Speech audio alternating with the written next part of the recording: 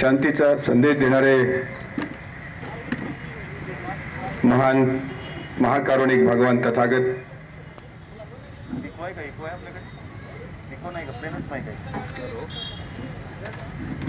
बाराव्या शतकामध्ये स्वतंत्र लिंगायत धर्माची स्थापना करून या जगाला जातीविरहित समाज व्यवस्था निर्माण करण्यासाठी या देशातील पहिली लोकसंसद अनुभव मंडप स्थापन करणारे लिंगायत धर्म संस्थापक महात्मा बसवण्णा स्वराज्याचे संस्थापक शककर्ते विश्ववंद्य छत्रपती शिवाजी महाराज या देशातील सर्वोत्तम आदर्श मातृत्व राष्ट्रमाता राजमाता मासाहेब जिजाऊ स्वराज्याचे संकल्पक छत्रपती शहाजी राजे स्वराज्याचे वारसदार स्वातंत्र्यवीर ज्यांचा जयंती उत्सव आपण या ठिकाणी साजरा करतो आहोत मराठा इतिहासातील एक तेजस्वी पर्व शिवपुत्र छत्रपती संभाजी महाराज. शिवरायांचा इतिहास शोधून या देशात पहिल्यांदा महाराजांना मानवंदना देऊन दहा दिवसाचा शिवजयंती उत्सव साजरा करणारे क्रांतीसूर्य महात्मा ज्योतिराव फुले. स्त्री शिक्षणाच्या प्रणेत्या सावित्रीमाई आरक्षणाचे जनक राजर्षी शाहू महाराज. भारतीय राज्यघटनेचे शिल्पकार विश्वरत्न डॉक्टर बाबासाहेब आंबेडकर साहित्यरत्न कॉम्रेड अण्णाभाऊ साठे कर्मवीर भाऊराव अण्णा संत गाडगे महाराज राष्ट्रसंत तुकडोजी महाराज.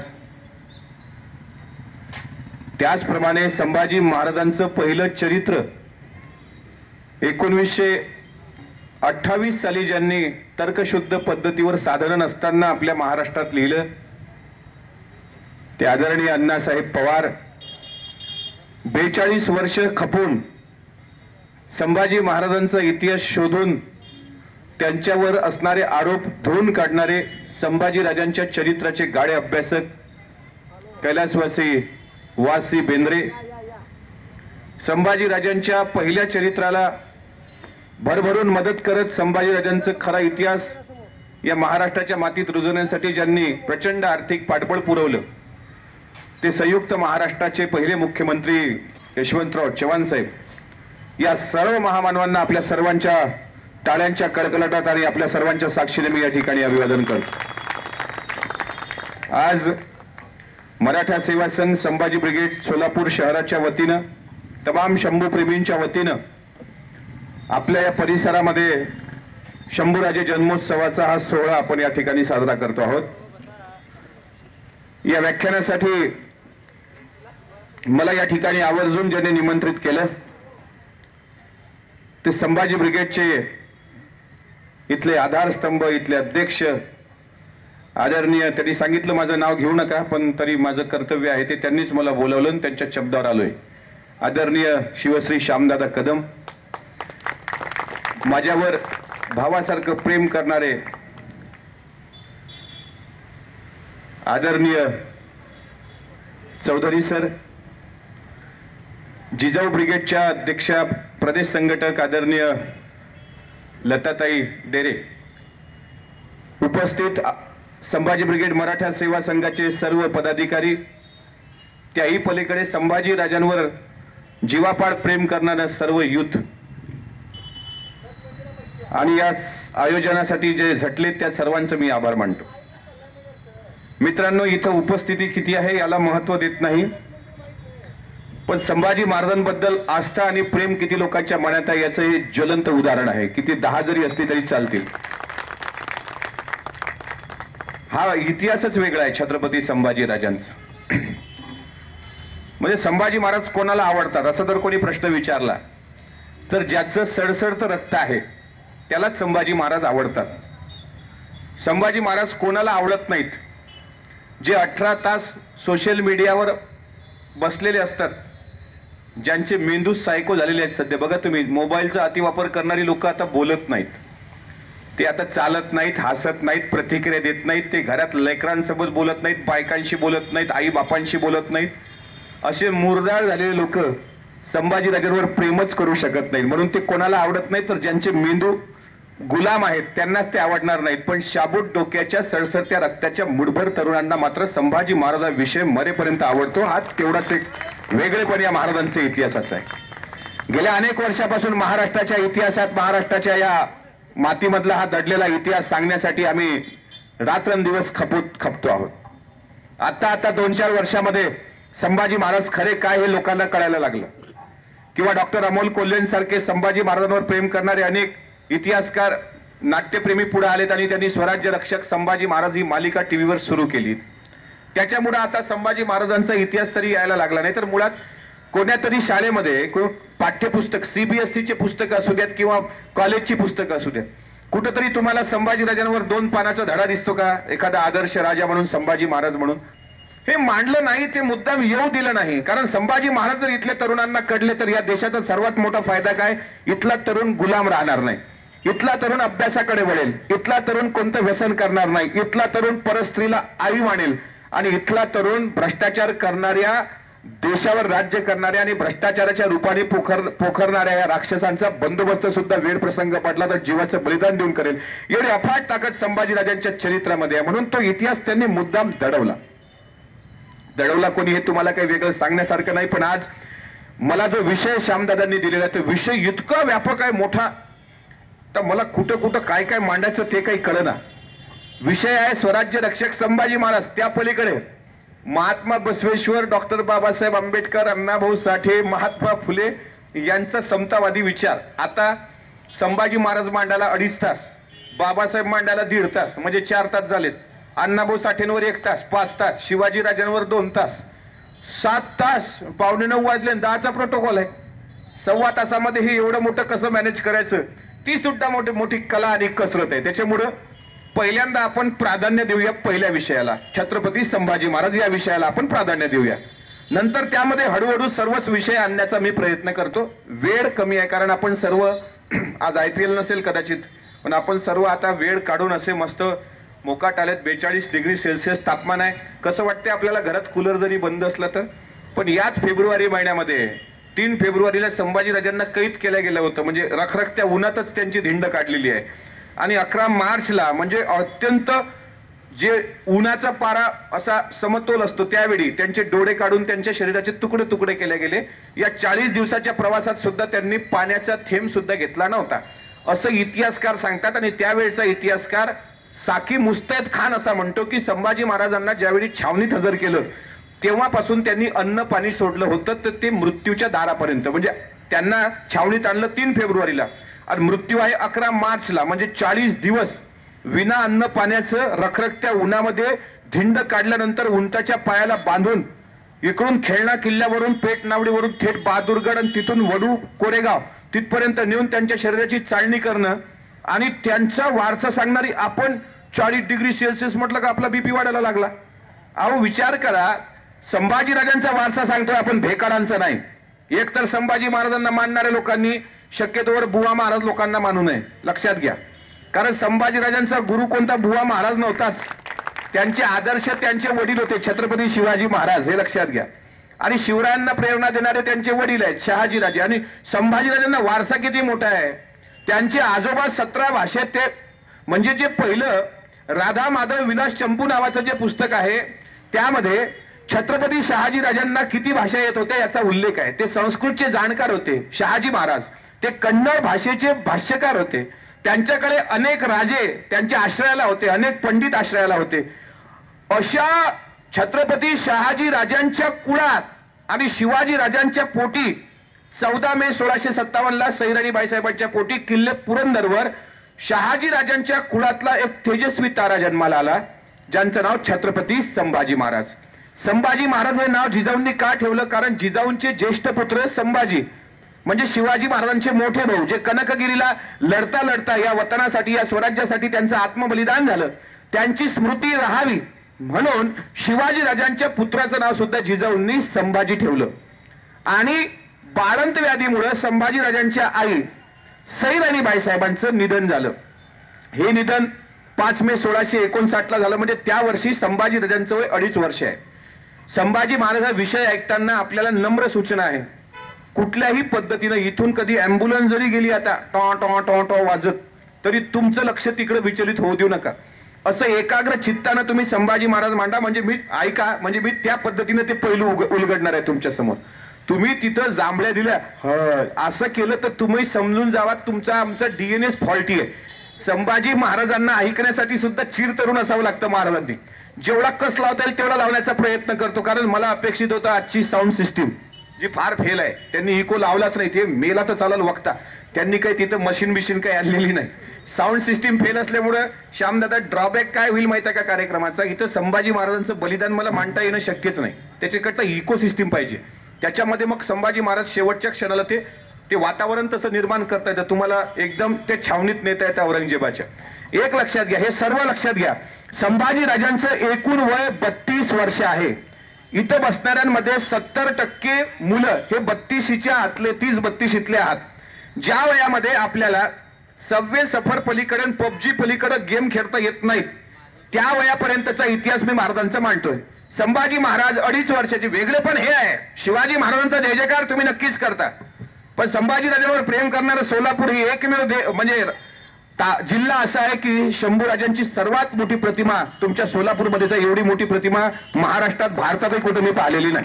म्हणजे आताही मराठा क्रांती मोर्चाचं जे चित्र टीव्हीवर दाखवतात तर ते तिथूनच मोर्चाला सुरुवात झाली होती आणि त्याच ठिकाणचं ते चित्र दाखवलं जातं. त्या संभाजी राजांच्या विचारावर प्रेम करणाऱ्यांना एक लक्षात घ्या. शिवाजी महाराज ग्रेटच आहेत लक्षात घ्या. पण शिवाजी महाराज आणि संभाजीराजांमध्ये फरक काय तो थोडा समजून घेऊया. शिवाजी महाराज हे सरदार पुत्र आहेत. संभाजी महाराज हे राजपुत्र आहेत. आलं लक्षात? शिवाजी महाराजांना साहित्य निर्माण करायला वेळ मिळाला नाही. संभाजी राजांनी जो वेळ मिळाला त्यांना शृंगारपुराला असताना त्या वेळेचा फायदा घेऊन चार ग्रंथ निर्माण केले. त्यातला संस्कृत मधला ग्रंथ बुधभूषण जो वयाच्या चौदा वर्षी निर्माण केला. दुसरा नखशिखांत हा ब्रजभाषेमधला ग्रंथ आहे. तिसरा नायिका भेद हा हिंदी ग्रंथ आहे. बुधभूषण नखशिकांत नायिका भेद आणि अध्यात्मावर भाष्य करणारा सात शतक हा चौथा ग्रंथ लिहिला. शिवाजी महाराजांना चार भाषा येत होत्या असं इतिहासकार सांगतात. संभाजी राजांना अठरा भाषा येत होत्या हे वास्तव आहे. छत्रपती शिवाजी महाराज म्हणजे जिवंत असेपर्यंत औरंगजेब बादशाहचे सरदार महाराष्ट्रात आले. मिर्झा राजे जयसिंग असेल राजा मानसिंग असेल ही लोक तहाची बोलणी करायला यायची इथं महाराष्ट्रामध्ये. पण शिवाजी राजांच्या मृत्यूनंतर डायरेक्ट थेट औरंगजेब बादशाह इथं महाराष्ट्रामध्ये आला. असं जगाच्या पाठीवर औरंगजेब पहिल्यांदा नाही तर आदिलशहाला हरवायला त्याचे सैनिक गेलेले आहेत. कुतुबशहाला हरवायला त्याचं सैन्य गेलेलं आहे. पण संभाजीराजाला हरवायला स्वतः औरंगजेबाला यावं लागलं. शिवाजी महाराज आणि संभाजी हा फरक आहे. छत्रपती शिवाजी महाराजांचा त्यावेळचा प्रबळ शत्रू म्हणजे फक्त मोघल आहे मोघल. शिवाजी राजांचे प्रबळ शत्रू म्हणजे जंजिराचे सिद्धी गोव्याचे पोर्तुगीज महाराष्ट्राच्या चारही सीमारेषेत आत घुसलेले सर्व मोघल आणि रायगडावरचे सर्व कपटी मंत्री म्हणजे गृहकलह आणि बाह्य कलह या चौफेर बाजूनी संभाजी महाराज घेरल्या गेलेले आहेत. शिवाजी महाराजांना म्हणजे ज्या ज्या वेळी छत्रपती शिवरायांना जसं जमलं जसं राजकारण करता आलं तसं करण्याचा प्रयत्न शिवरायांनी केला. संभाजीराजांनी प्रत्येक वेळी धाडस दाखवलेलं आहे. दंडराजपुरीवर हल्ला करण्याचं धाडस त्या काळात कोणाचं झालं नसेल पण संभाजीराजांनी दंडराजपुरीवर हल्ला करण्याचा प्रयत्न केला. जंजिऱ्यावर हल्ला केलेला आहे बुरहानपूरवर हल्ला केलेला आहे सुरतवर हल्ला केलेला आहे कारंजा लाड विदर्भामधला तिथं हल्ला केलेला आहे. औरंगाबाद या ठिकाणी तीनदा हल्ले संभाजीराजांनी केलेले आहेत. संभाजीराजांचं वय अडीच वर्षाचं असताना त्यांना विना आईचं राहावं लागलं. यासाठी जिजाऊंनी त्यांना कापूर होटची धाराऊ ही दूध आई म्हणून गाडे पाटलाची मुलगी म्हणजे ती ती ओळी बालंतीत बोलावली? तिचं दुधावर संभाजी महाराज जगत होते. पुढे शिवाजीराजांनी त्यांच्या शिक्षणाची तजवीज करायला वेगवेगळ्या विषयाचे प्राध्यापक ठेवले होते. संभाजी महाराज पाच वर्षाचे होईपर्यंत संभाजी महाराज धनुर्विद्येमध्ये प्रवीण होते धनुर्विद्या. संभाजी महाराज मल्लखांबामध्ये प्रवीण होते. आजही संभाजीराजांचा मल्लखांब रायगडावर तुम्हाला दिसतो. जे रायगडला जातात त्यांना विचारा शंभूराजांचा मल्लखांब त्या ठिकाणी आहे. वयाच्या पाच वर्षाचे असेपर्यंत संभाजी महाराजांना मल्लविद्या येत होती धनुर्विद्या येत होती. संभाजी तलवारबाजी येत होती. भालाफेकीचं शिक्षण होतं आणि वेगवेगळ्या विषयाचं शिक्षण द्यायला शिवरायांनी सुरुवात केली होती. पाचव्या वर्षी पाचव्या. सध्या पाच वर्षाची मुलं ज्यांना जॉनी जॉनी यस पप्पाच्या पलीकडे इंग्रजी येत नाही. त्या काळामध्ये संभाजीराजांना वेगवेगळ्या भाषा शिकवायला शिवरायांनी सुरुवात केलेली आहे. शिवाजी महाराज मोहिमेसाठी महाराष्ट्राच्या बाहेर दक्षिण दिग्विजयाला दिग्विजयाला असायचे त्यावेळी संभाजी महाराज राजगडावर राहून या सगळ्या विद्या आत्मसात करत होते. पुढे सोळाशे सहासष्ट साल आलं. महाराष्ट्रावर तहाच सावट आलं. म्हणजे एक अंधार दिवस तो की तहाची बोलणी करायला मिर्झा राजे जयसिंग आलेत. शिवाजीराजांनी तहाची बोलणी केली सोळाशे सहासष्ट साल. संभाजीराजांचा जन्म सोळाशे सत्तावन्नचा आणि सोळाशे सहासष्टला औरंगजेबाच्या ओलितास संभाजीराजांना शिवाजी महाराजांना घेऊन जावं लागलं. शिवाजी महाराज कुठे गेलेत? आग्र्याला. राजकारणामध्ये एंट्री कोण्या वर्षी आहे संभाजीराजांची? नवव्या वर्षी म्हणजे आताच थर्डला असणारं पोर. म्हणजे नवव्या वर्षी संभाजी महाराज. ते राजकारण करायला कुठे गेले? दिल्लीचं राजकारण करायला आग्र्याला. कोणासोबत? वडिलांसोबत.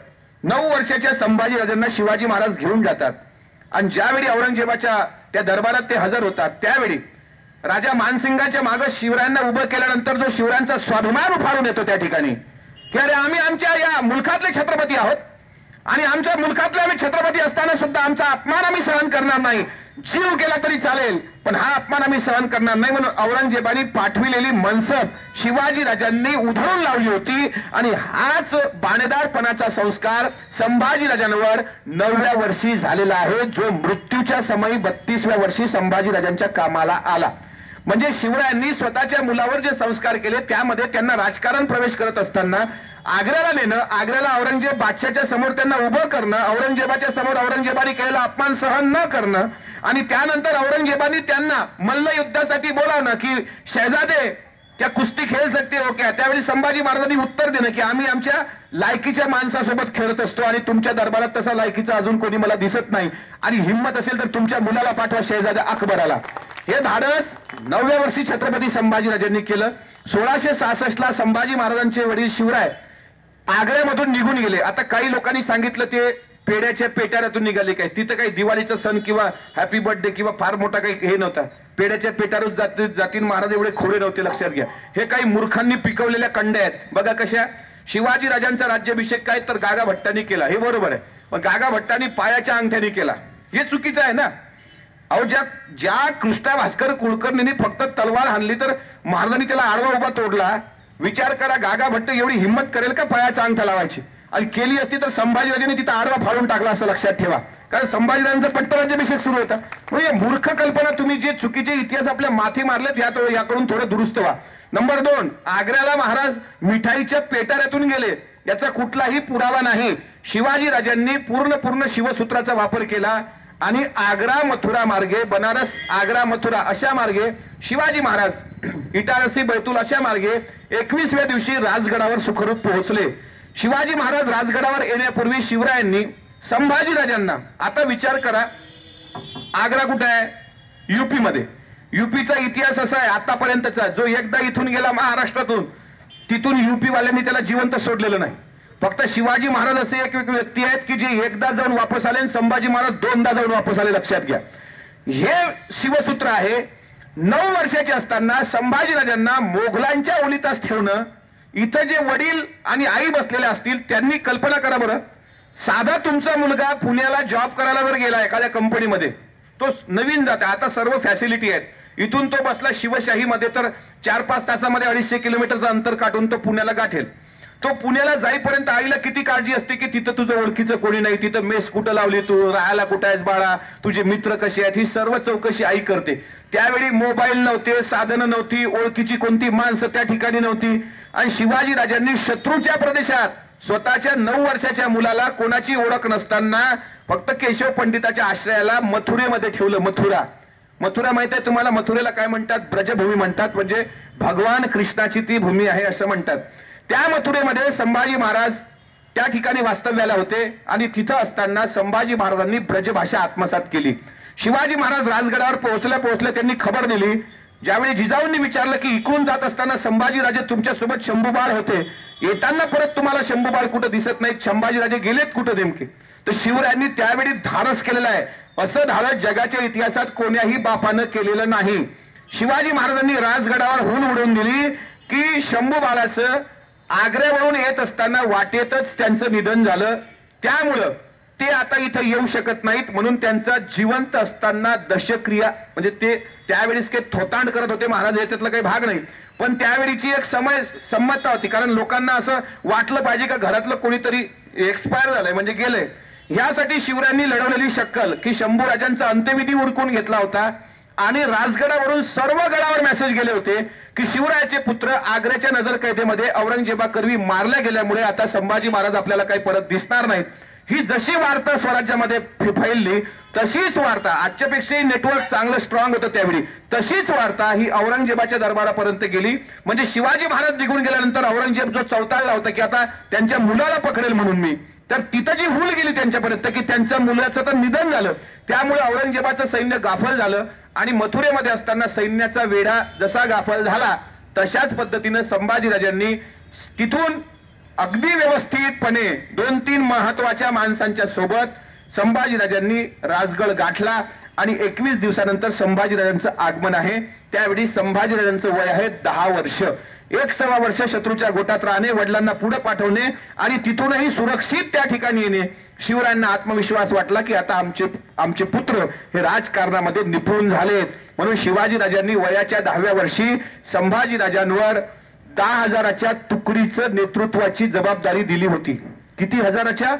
दहा हजार सैन्याचं नेतृत्व संभाजीराजांनी वयाच्या दहाव्या वर्षी केलं. तुम्ही म्हणाल मिटकरी तुला माहीत आहे का? फ्रेंच प्रवासी ॲबे कॅरे आला होता. तो ॲबे कॅरे असा लिहून ठेवतो की हा युवराज दिसायला अत्यंत सुस्वरूपवान आहे. दिसायला अत्यंत सुंदर आहे. त्याला कुठल्याही प्रकारचं व्यसन नाही. त्याचं पिरदार शरीर पाहून त्याचं सैन्य त्याच्याकडे आकर्षित होतो आणि सैन्याला आकर्षित करणारा फार मोठा गुण त्याच्याकडे आहे. म्हणून पित्यालाही हेवा वाटावा. असा हा दिसायला सुंदर राजकुमार शिवाजी राजांपेक्षाही एक पाऊल पुढे होता. असं फ्रेंच प्रवासी ॲबे केरेनी लिहिलं. ॲबे केरे त्यावेळी जिवंत होता आणि त्यांनी संभाजी राजांचं केलेलं वर्णन आहे. संभाजी राजांचं शरीर हे लहानपणापासून पिळदार आहे. आता माझे काल एमडी मित्र होते डॉक्टर जतला. डॉक्टर पट्टण शेट्टी त्यांनी सांगितलं ते एमडी आहेत हृदयरोग तज्ज्ञ आहेत. ते म्हणतात काल त्यांच्या दवाखान्यामध्ये असा एक पेशंट आला ज्याला सतराव्या वर्षी हार्ट फेल झाला.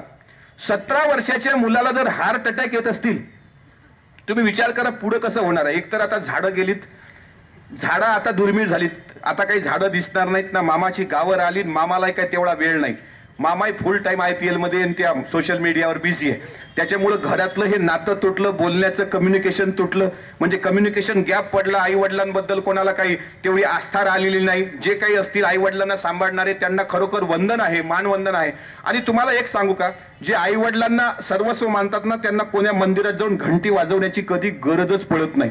आणि मंदिरात जाऊन धुपारत्यान घंट्यान नैवेद्यन अगरबत्त्यान ह्या देव तो देव आणि तेहतीस कोटी देऊन हे कमी पडले का सचिन क्रिकेटचा देव आणि आणखा देव हे एवढे देव बोकांडीवर घेणारे. त्यांच्या आई वडिलाला कधी सन्मान देत नसतात हे लक्षात ठेवा. म्हणून आई वडिलांना सन्मान द्या. हा ही शिकवण पहिल्यांदा. ही जिजाऊंच्या कुळातून आलेली आहे लखुजी राजेंपासून आली शहाजी राजांपासून आली मालोजी राजे भोसलेंच्या कुळातून आली आणि ती संभाजी महाराज राजाराम महाराज थोरले शाहू महाराज तर अगदी राजाराम छत्रपती शाहू महाराजांपर्यंत ती येते. आमच्या सर्व महामानवांनी आई वडिलांचाच मान सन्मान ठेवला. जी मुलं आता उन्हाळपणामुळे एकदम जास्त त्यांच्या डोक्यात घातलेलं आहे भगवं भगवं भगवं भगवं. ते त्यांच्या मायबापाला विचारा जरा इंटरव्ह्यू घेऊन. हे घरात किती द्या तुमच्यासोबत चांगलं राहतं. याचं घरात आई वडिलाशी काही प्रेम नसतं पण तिकडं माझाला माझाला रस्त्यावर येतं. नाव घ्यायचं शिवाजी महाराजांचं संभाजी महाराज हे विषय मसल पॉवर वाढवण्याचे नाहीत मस्ती करण्याचा विषयच नाही आहे शिवाजी महाराज लक्षात घ्या. नाही तर हल्ली तो ट्रेंड सुटलेला आहे. शिवरायांसारखी ताडी तसंच रुद्राक्षाची माळ आणि हातात काहीतरी धागे आणि दिसायला एकदम भगवाच. आता काय मारतो का लोकांना? असं काय असं असा माज होता का त्या काळात मावळ्यांना?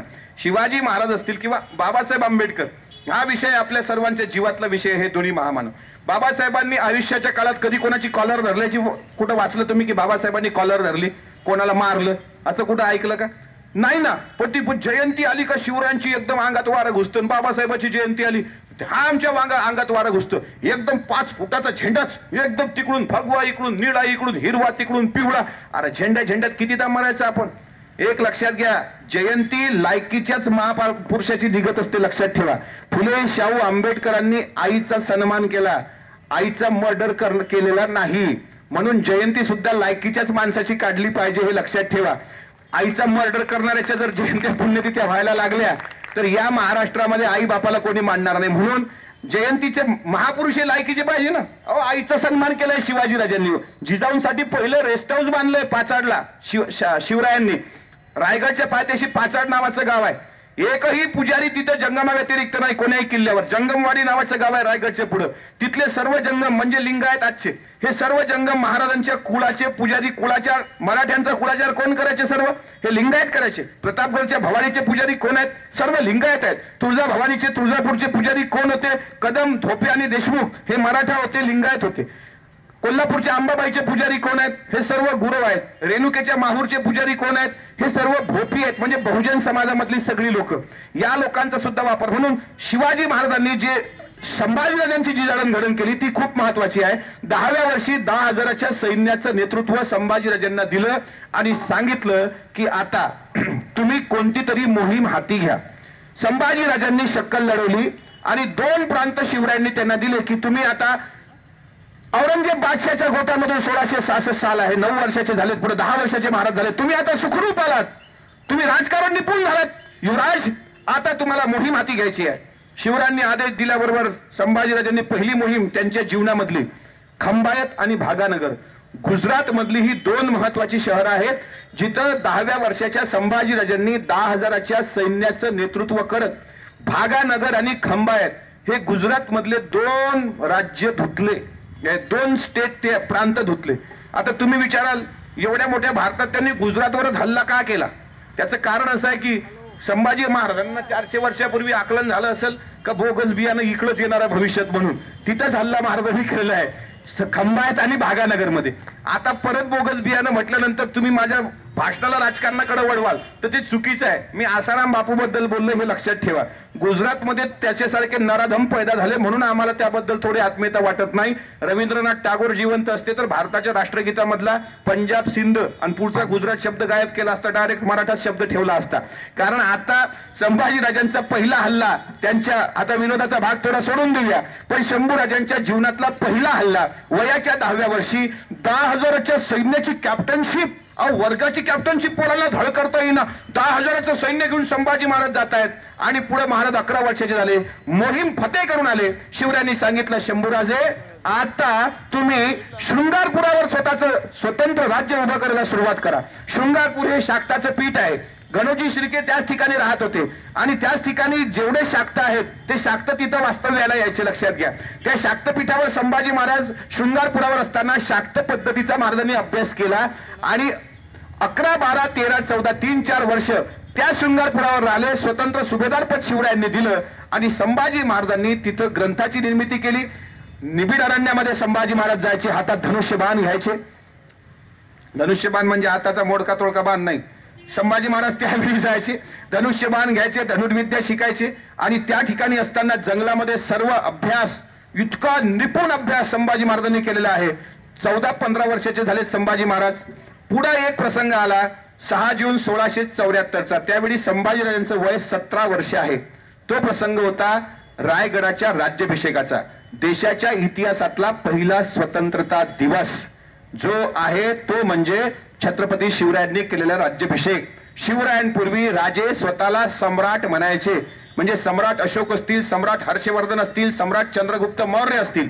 त्यांच्यानंतर पाचशे वर्षाच्या इतिहासात छत्रपती हे पद पहिल्यांदा जर कोणी अधिकृतरित्या स्वतःच्या नावापुढे अधिकृतरित्या लावलं असेल तर ते फक्त छत्रपती शिवाजी महाराजांनी लावलं.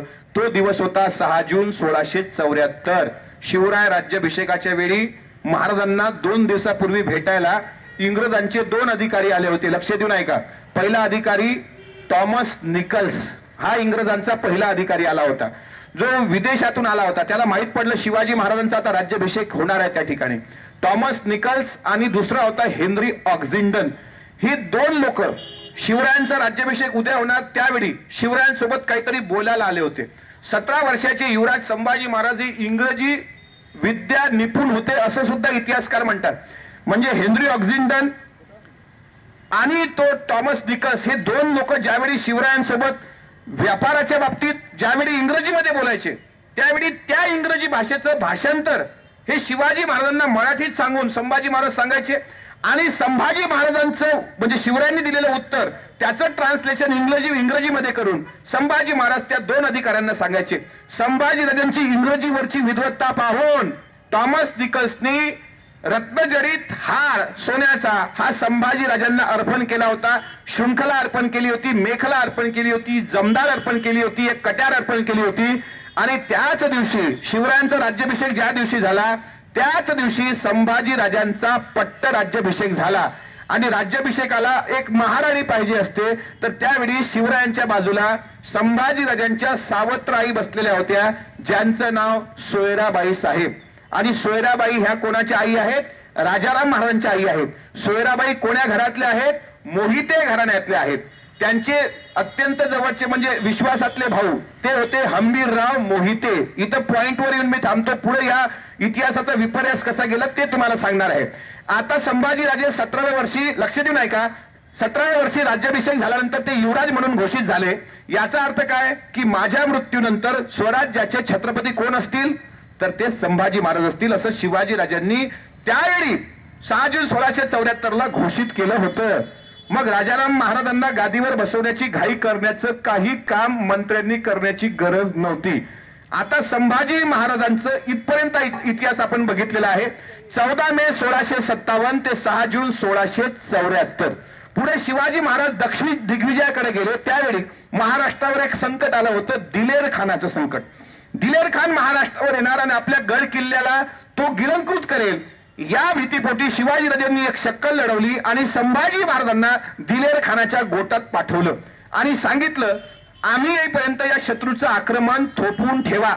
दिलेर खान ज्यावेळी महाराष्ट्रामध्ये आला शिवाजी महाराज कर्नाटक दक्षिण दिग्विजयाच्या मोहिमेवर असताना शिवाजी महाराज येईपर्यंत म्हणजे आरोप जे झालेत संभाजी महाराजांवर ते दिलेर खानाच्या गोटात गेले शिवरायांशी ते फितूर झाले बापलेकांची दिलजमाई होत नव्हती संभाजी महाराज शिवाजी राजांना फितूर झाले. अहो शिवाजी राजांच्या सांगण्यावरूनच संभाजी महाराज हे दिलेर खानाच्या गोटात गेले.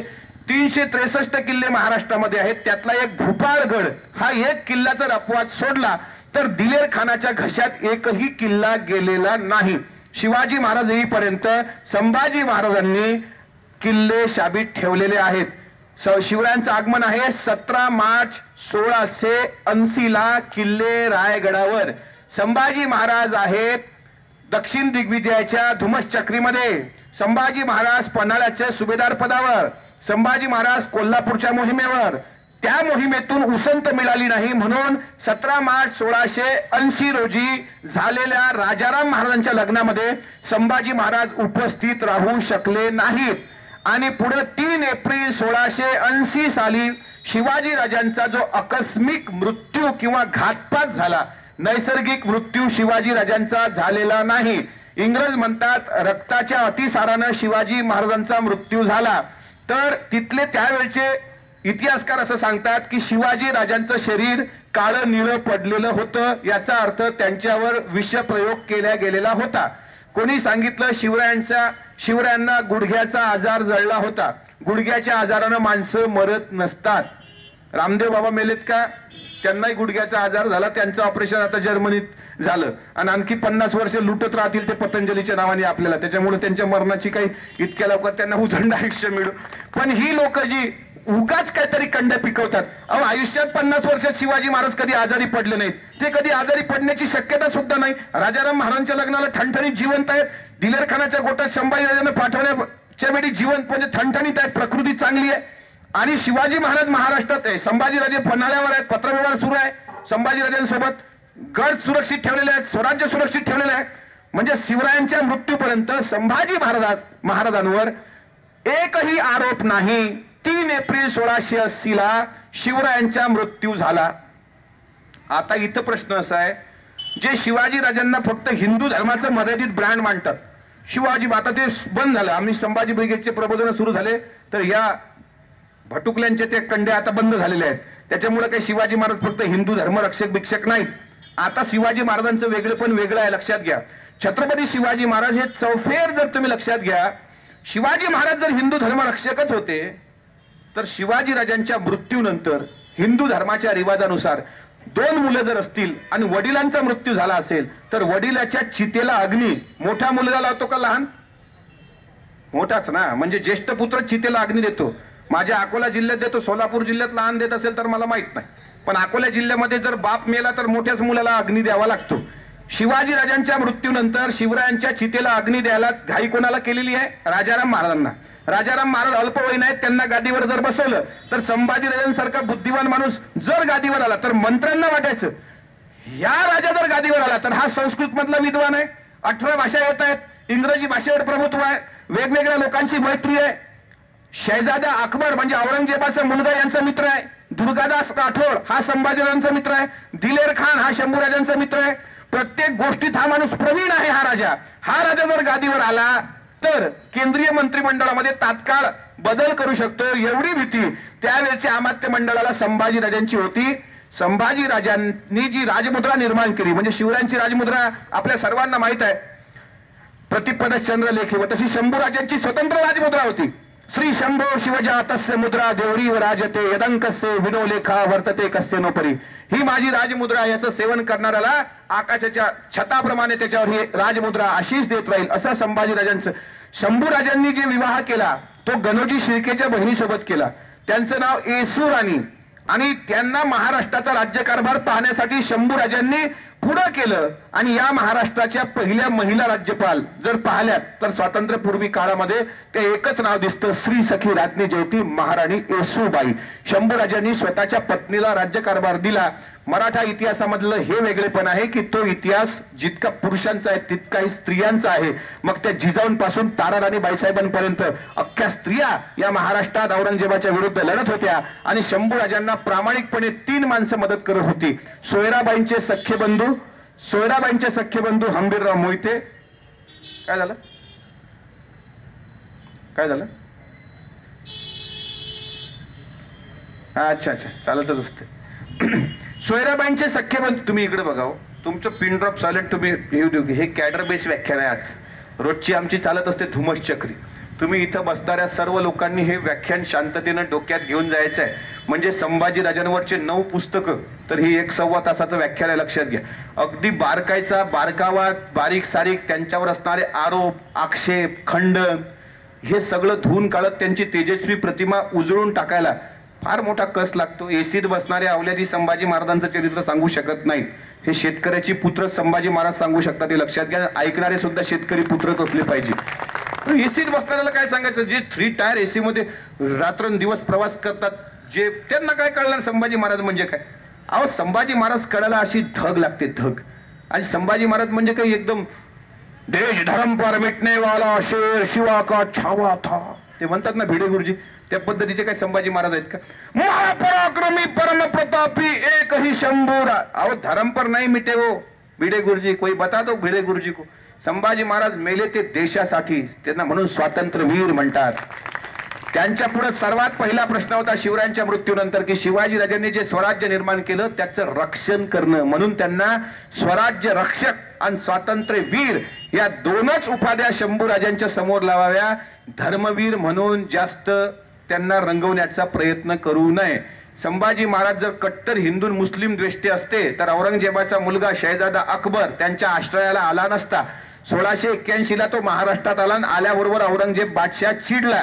आणि चिडल्यानंतर त्यांनी दिल्ली सोडली डायरेक्ट तो महाराष्ट्रात आला सोळाशे ब्याऐंशी ला.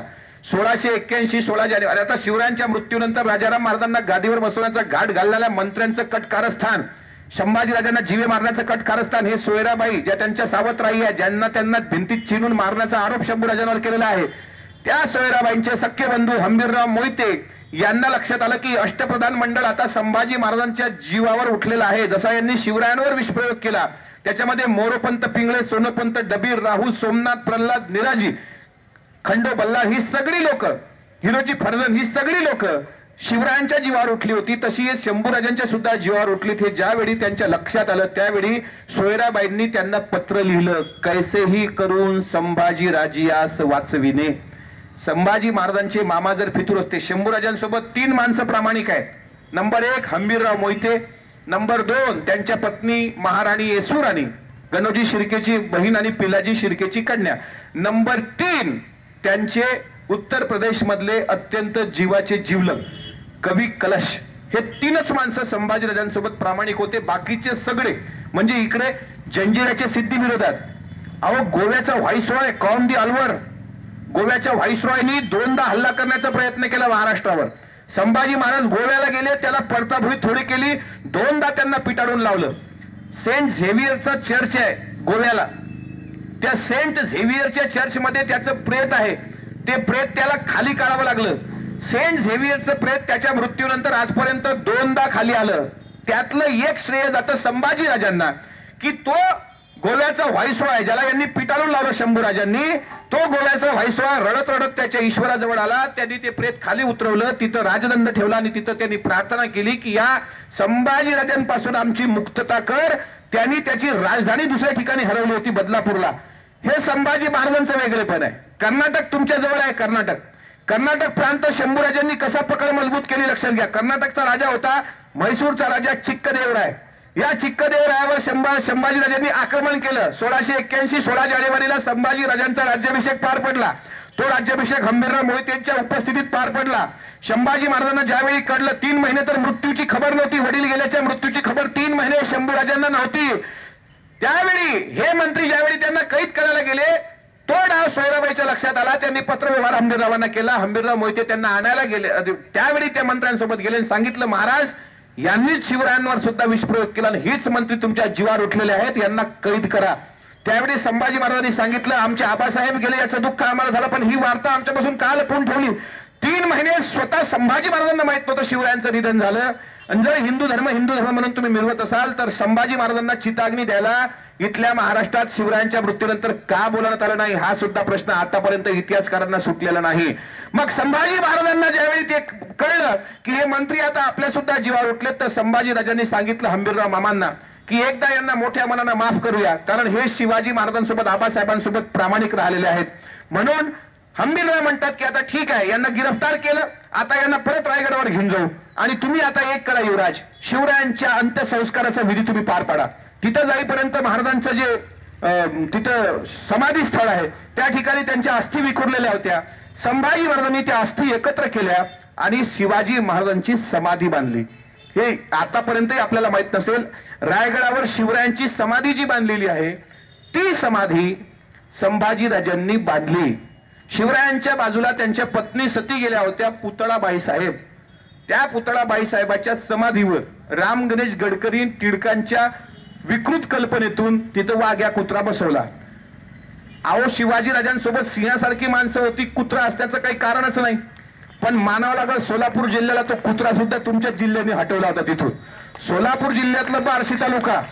या बार्शी तालुक्यातल्या शिवक्रांतीवीरांनी भर पावसाळ्यात तो हटवला परत त्यांनी तिथं तो चढवला. आणि चढवतात आणि त्या माध्यमातून मग जाती जातीमध्ये भांडणं लावण्याचं काम या लोकांनी केलं. शिवरायांची समाधी संभाजीराजांनी बांधलेली आहे. आणि संभाजी राजांच्या त्या समाधी बांधल्यानंतर संभाजी महाराज काय म्हणतात आईला? माता सोयराबाई साहेब आम्हाला या वाटणीमधलं काही नको. आबासाहेबांना आम्ही शब्द दिलाय. आमचे बंधू राजाराम महाराज यांना आम्ही आमच्या भावाप्रमाणे वागू स्वराज्याच्या वाटणीतला एक कणही आम्हाला नको. आम्ही आमच्या आबासाहेबांच्या समाधीजवळ बसून कंदाचा रस पिऊ. आम्हाला हे राज्य नको. आमच्या भावाने खुशाल राज्य करावं. आम्हाला वडिलांची इमान इतबारे सेवा करू द्या. सोयराबाई साहेबांना प्रामाणिकपणे असा इतिहास जगात कोणाचा घडला नसेल सांगितलं सोयराबाई साहेबांना की आम्ही राज्याचे अधिकारी जरी असलो तरी आम्हाला हिस्सा नकोय हिशे वाटणी नकोय. हे वेगळेपण संभाजी राजांचं आहे. आणि संभाजी महाराज गादीवर आले राज्याभिषेकाच्या तारीख सोळा जानेवारी सोळाशे एक्क्याऐंशी. शिवरायांचे दोन राज्याभिषेक झालेले आहेत. वैदिक पद्धतीनं सहा जूनला आणि शाक्त पद्धतीने चोवीस सप्टेंबरला. संभाजी महाराज शृंगारपुराला होते ते शाक्तपीठ होतं. निश्चलपुरी गोसावीला घेऊन संभाजी राजांनी शिवरायांचा दुसरा राज्याभिषेक पार पाडला. तो दिवस चोवीस सप्टेंबर ज्या दिवशी महात्मा ज्योतिराव फुलेंनी सार्वजनिक सत्यधर्म स्थापन केला होता हे इतिहासाचे असे धागेदोरे आहेत. त्यांनी चोवीस सप्टेंबरलाच का केला त्याच्या मागचं हे वेगळेपण आहे. आणि तिसरा राज्याभिषेक रायगडावर पार पडला सोळा जानेवारी सोळाशे एक्क्याऐंशी ला आणि सोळाशे एक्क्याऐंशी ला राज्याभिषेक पार पडल्यानंतर संभाजी महाराजांनी पहिलं काम कोणतं केलं? तर जे मंत्री त्यांना विषप्रयोग करून मारणार होते त्या मंत्र्यांना परत त्यांनी त्याच पदावर रुजू केलं. की आता एकदा तुम्हाला संधी देतो. परत आता अशी चूक होता कामा नाही सर्वांना मोठ्या मनाने माफ केलं. मोरोपंत पिंगळे राहू सोमनाथ सोनोपंत डबीर प्रल्हाद निराजी हे सगळं अष्टप्रधान मंडळ त्यांनी पूर्वीपेक्षा जास्त हुद्द्यावर त्या ठिकाणी अमात्य वगैरे त्यांना बसवलं. हे सगळे गोष्टी तुम्ही लक्षात ठेवून बारकाय नाही का पुढचा प्रसंग. आणि आता दुसरा प्रसंग. महाराष्ट्रामध्ये तुकाराम महाराजांचं गाव देहू. तुकाराम महाराजांच्या मृत्यूनंतर देहूमध्ये तुकाराम महाराजांचं कुटुंब वीस वर्ष आलेलं नाही. देहूच्या तीन गुंडांची दहशत होती त्यामध्ये. गुंडा क्रमांक एक रामेश्वर भट. गुंडा क्रमांक दोन मंबाजी गोसावी. आणि गुंडा क्रमांक तीन सालो मालो यांनी तुकाराम महाराजांच्या घराला सळोकी पळो करून सोडलं होतं. तुकाराम महाराजांची चार एकर बावीस गुंठे जमीन मंबाजीने हडपलेली होती. आणि वीस वर्ष तुकाराम महाराजांचं मोरे कुटुंबीय देहूमध्ये नव्हतं. जसं तुकाराम महाराजांचे नातू नारायण महाराज म्हणजे त्यांचे वंशज यांना कळलं की संभाजी महाराज आता गादीवर बसलेत. ते तात्काळ रायगडावर गेले भेटलेत. त्यांनी विनंती केली की आमचे वडील आमचे पूर्वज जगद्गुरु तुकाराम महाराज हे शिवाजी राजांना मार्गदर्शन करायचे. आम्ही त्यांचे वंशज आहोत. आमची विनंती आहे की ज्या तुकाराम महाराजांनी ह्या वारकरी धर्म या ठिकाणी वाढवला त्या तुकाराम महाराजांची पालखीची परंपरा आम्हाला काढायची आहे. म्हणजे आम्हाला संरक्षण द्या. संभाजी राजांनी तात्काळ कुठलाही विचार न करता पालखीला संरक्षण देऊन या महाराष्ट्रात पालखीची पहिली परंपरा सुरू केली. सोळाशे एक्क्याऐंशी ला देहू ते पंढरपूर ही पहिली पालखी गेलेली आहे. आळंदी ते पंढरपूर हे पालखी नंतरच्या काळात आली. तुकाराम महाराजांची पालखी काउंटर करायला. महाराष्ट्रात वारीची परंपरा इथं जर पत्रकार बांधव असतील तर स्टेटमेंट छापायचं असेल तर हे छापा. महाराष्ट्रात वारीची परंपरा सुरू करणारे. म्हणजे पालखीचे ते काय वारीचे जनक छत्रपती संभाजी महाराज. हे माहीतच नाही हो, आमच्या वारकरी संप्रदायातल्या अनेक कीर्तनकारांना माहीत नाही. संभाजी महाराजांचं नाव घेतात ते इंदोरीकर महाराज पण ते आता वाघाच्या तोंडात हात घातले. आणि हे कुणी तुम्ही पाहिलं काय? आणि हेच हात घातले म्हणून तेच धाडस होत असतं का कुठं? याच्या पलीकडचे काही संभाजीराजांचे व- धाडस आहेत की नाही? वारकरी संप्रदाय आमचा आहे वारकरी धर्म आमचा आहे. हा वारकरी धर्म तुकाराम महाराजांचा आहे नामदेव महाराजांचा आहे. पण तुकाराम महाराजांनी तुकारामांची पालखी हे देहू ते पंढरपूर काढण्यासाठी पहिला प्रयत्न हा संभाजी महाराजांनी केला. मी तर म्हणतो प्रत्येक वारकरी कीर्तनकारांनी पुंडलिक वरदा हरी विठ्ठल म्हटल्याबरोबर छत्रपती संभाजी महाराज की जय असंच म्हटलं पाहिजे. कारण संभाजी महाराज नसते तर वारकरी धर्मच सोळाव्या शतकामध्ये जिवंत राहिला नसता. त्या दिंडीवर ते दिंडी संभाजी महाराजांनी सुरू केली. हे झालं सोळाशे एक्क्याऐंशी पर्यंत. आता सोळाशे सत्तावन्न ते सोळाशे एक्क्याऐंशी या चोवीस वर्षाच्या काळापर्यंत मी तुम्हाला इतिहास सांगितला. आता स किती वाजले? आईला साडे दहा? किती? नऊ माझी घड्याळ एक तास पुढे केली म्हणून मला साडे दहा दिसली. तुमचं आहे ना बसण्याची इच्छा? आमदार आता बोलवत जाल तर साऊंड सिस्टीमकडे थोडं लक्ष देत जावा. तर तसे ते पैसे घेतात का? फुकट देत नाहीत आपल्याला. थोडंसं त्यांना इको बिको द्यायला लावला तर आम्हाला कसं आहे? ते बाबा महाराज सातारकरांसाठी काय गोड माईक असतात तो अहो आम्हाला दिलं तर आम्ही अख्ख्या देशाला विचाराची आग लावून देऊ. एवढे खतरनाक लोक आहेत. आणि आमच्यासाठी काऊ ना का असं तेच कळतं महाराज लोक बघा बरं. माऊली महावैष्णव. ज्ञानेश्वर महाराज काय म्हणालेले आहेत? बाबा अहंकार शिगंधाट गुरुवचने फुटले पहाट. भक्ती माय भेटली बरवंट तिने मार्ग दाविला चोखटगा काय म्हणाले ज्ञानेश्वर महाराज? गुड मॉर्निंग म्हटले नाहीत. गुड आफ्टरनून म्हटले नाही त्यांना आनंद झाला. नाथांच्या घरी तर साक्षात पांडुरंग नाचले. त्यांनी अभंग लिहिलेला आहे. अहो किती सुंदर गातात. रामकथेचे महाराज लोक हनुमान चालिसा बिलिसा गातात काय सुंदर साऊंड सिस्टीम असते. ते बुवा महाराजांचे सत्संग काय? ते असं गळा काढला गळा तरी टाचणीला आवाज जाईल तिथपर्यंत. आमचं तर असं झाला एक प्रॉब्लेम कुठं कुठं गावात तर सुतळीला बांधून माईक येतो. काय सांगायचं संभाजी महाराजाला गळ्याचं कॅन्सर होण्याची लक्षणं आहेत आमची. चांगली ठेवत जावं जरा साऊंड सिस्टीम आता प्रश्न आहे, लक्षात घ्या. चौदा मे सोळाशे सत्तावन्न ते सोळा जानेवारी सोळाशे एक्क्याऐंशी. किती वर्ष झालेत? चोवीस. तुम्ही सर्व बसलेली लोक चोवीस वर्षाच्या वर आहात. काही चोवीस वर्षाचे तिकडेही बसू नये वेगात मराठे वीर दौडले. एक दोन तीन सहा. सहा आहेत ना ते? सहा. हे का असे बसलेत? तोही मोठा विषय खुर्च्या